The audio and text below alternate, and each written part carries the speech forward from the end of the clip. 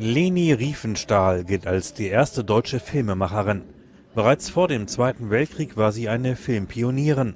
Sie montierte ihre beiden Filme über die Olympischen Spiele 1936 in Berlin in einer bis dahin ungekannten Art und wurde damit weltberühmt.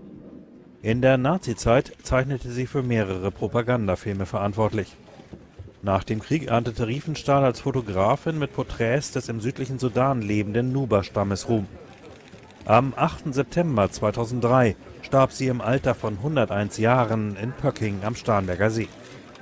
Riefenstahls ehemalige Sekretärin vermachte das umfangreiche Erbe der Künstlerin der Stiftung Preußischer Kulturbesitz in Berlin. Dort reagierte man zunächst überrascht, dann aber erfreut. Um sich einen ersten Eindruck zu verschaffen, begaben sich Ludger Derenthal, der sich federführend um die Aufarbeitung des Nachlasses kümmern soll, zum Haus von Riefenstahl nach Pöcking. Dieses sei von oben bis unten voll gewesen mit Material, Filmen und Fotografien, sagt Derenthal.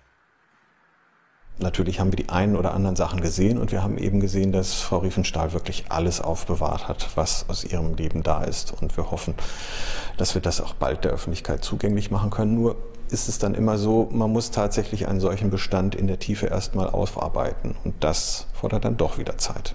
Die Aufarbeitung der Bestände, die bis in die 1920er Jahre zurückreichen, soll unter anderem Riefenstahls Beziehung zum Nationalsozialismus thematisieren. Riefenstahls wohl berühmtestes und zugleich umstrittenstes Werk ist die 1934 entstandene Dokumentation Triumph des Willens über den 6. Reichsparteitag der NSDAP in Nürnberg. Aber es gibt dann eben auch sehr viel Schriftmaterial, Akten, Presseausschnitte, ihre Tageskalender, das Manuskript ihrer Memoiren zum Beispiel. Und ähm, wir hoffen, dass man eben mit diesen Akten und auch dem weiteren schriftlichen Nachlass die Umstände der Entstehung von vielen bedeutenden Filmen, die sie gemacht hat, von Fotokampagnen, die sie unternommen hat, besser dokumentieren und erklären kann. Die 1902 geborene Riefenstahl feierte als Schauspielerin, Filmemacherin und Fotografin große Erfolge, war aber immer umstritten. Man kenne die besondere Verantwortung, die ihr Nachlass mit sich bringe, sagt Derenthal. Sie wird auch umstritten bleiben und es ist auch etwas, was ihr Leben nach 1945 intensiv geprägt hat. Wir werden das auch immer thematisieren müssen und es ist auch, glaube ich, nichts Neues, wenn wir sagen, dass diese Position nicht einfach zu bewerten ist. Der Nachlass soll an verschiedenen Orten aufbewahrt werden.